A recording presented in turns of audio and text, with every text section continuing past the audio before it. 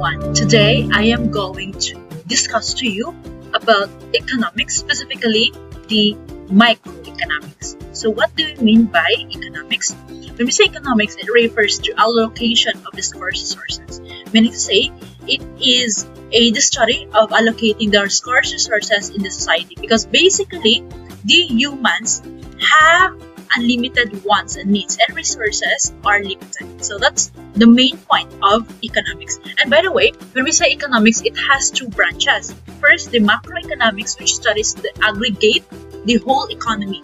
Meaning to say it refers to the raw development, GDP, the national economy, the GNP. And the other branch of economics is the microeconomics. It talks about the individual accounts, like for instance, the law of supply and demand, the consumer behavior, the supplier behavior, the supply side. So that's all about microeconomics. Now, the scope of microeconomics are the following. First, it will deal with the decisions of the individual, consumer satisfaction, buying and selling decisions of the firm, determination of prices in markets, quantity, quality, and variety of products as well as the profits. So these are basically the major scopes of microeconomics studies.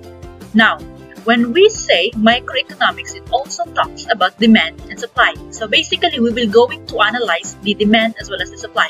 When we say demand, it refers to the ability and willingness to buy specific quantities of goods in a given period of time at a particular price, ceteris paribus.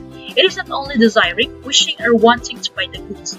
Basically, the person must have the ability to buy the goods, which means he has the purchasing power and he must be willing to pay the price of the goods. He has also the desire to possess that specific thing. That's the demand.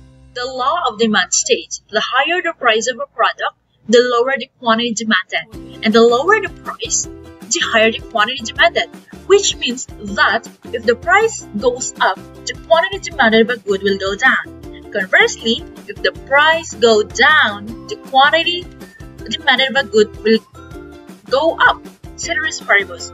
So which means like for instance, if the kilo of rice is 45 kilo pesos per kilo, the tendency of the consumer is to buy less of the product. In other words, conversely, if the price of the rice will be 20 pesos only, of course, the tendency is to buy more of the product. So that's the inverse relationship between the law of demand. Of course, when analyzing demand, we can use three types. First, we can have the demand schedule. We can also have demand curve as well as the demand function.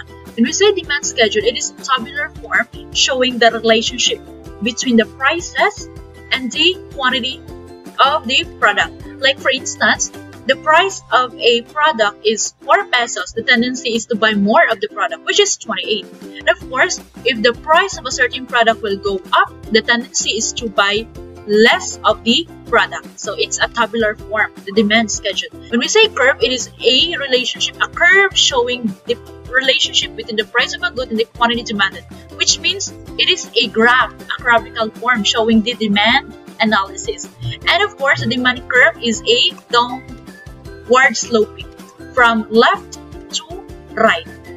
Basically, if there is a movement from one point of this one to another point along the same demand curve, it is mainly brought about by the increase or decrease in the product, which means price determinants. And of course, if there is a change in demand, the entire demand curve shifts from left or right, resulting to an increase or decrease in demand due to other factors.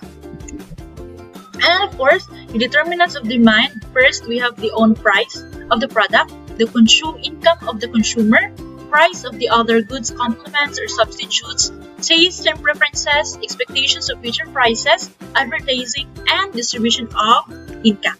Lastly, we can also analyze the demand using the demand functions. It is a causal relationship between a demand-dependent variable and the various independent, which means there is a mathematical notation in analyzing the demand. So we will have an equation. And of course, the other side of the coin, we will talk about the supply. When we say supply, it is the quantity of goods that a producer is able and willing to sell at a certain price in a given period of time. So the law of supply states that the higher the price of a good, the higher the quantity supplied, and vice versa. This implies that a higher price is an incentive for business firms to produce more goods or services as it will maximize their profits, which means that profit is the main drive to produce more supplies. Because with more price, the tendency is for the supplier to gain more profit. And of course, if the high prices provide incentives to sellers to sell more because of the expected increase in their profits. So that's basically the, the law of supply. Like for instance, the rice is 50 pesos per kilo. But of course, the tendency is the supplier will sell more of that price because basically they could gain more profit. And if the price is, let's say, 10 pesos per kilo, the tendency is there will be less supply to be produced by the supplier. Basically, profit is the main drive of the supply. This, when analyzing the supply, we could use the three types. We will have the supply schedule, the supply curve, as well as the supply function. It is a table representing the relationship between the price and as well as the quantity supply. Like for instance, here, if the price is 1, the tendency is to supply less of the product. And if the price is higher, of course, the tendency is for the suppliers to supply more of the product. So like for instance, here 20, they will supply 35 of the quantities. Now, there is a positive relationship between the price and the quantity supply. And of course, in the analysis of the supply, we can also have the curve. So curve of the supply is the upward sloping, meaning there is a positive relationship between the price and the quantity supply. So in the supply curve, what happens when there is a movement from one point to another point along the same supply curve, it is mainly brought about by an increase and decrease in the prices of the product, which means price determinants when there is a movement along curve, the movement of the.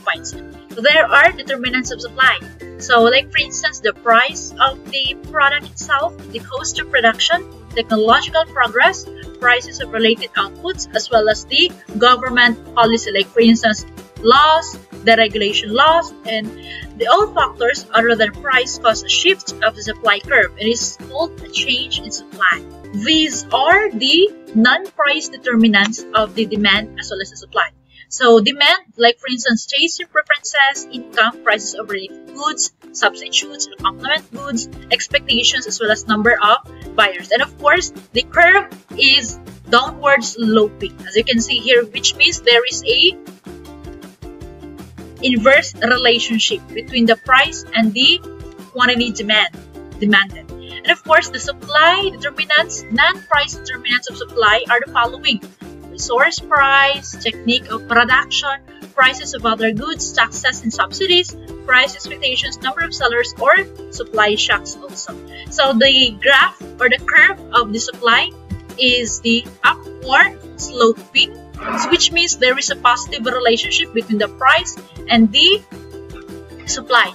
We have a review that the law of demand states that if the price of the product will increase, the tendency is to buy less of the product. If the price of a commodity will decrease or less, the tendency is for the consumer to buy more of the product. In supply, when the price of a product will increase, the tendencies for the supply to produce more of the product. And conversely, if the price of a certain commodity will decrease, the tendencies for the supplier to produce less of the product. Basically, the main drive uh, for the supplier side is the profit. A market equilibrium pertains to a balance that exists when quantity demanded equals quantity supplied, which means there is a general agreement of the buyer and the seller in exchange of goods and services at a particular price at a particular quantity. So of course, as you can see here, there is a balance. And if the quantity supplied is more than the quantity demand, there will be surplus. Surplus. If there is a quantity demand that is higher than the quantity supplied, there will be shortage occur. That's basically, there will be market disequilibrium. And that's all for microeconomics. Thank you so much. God bless.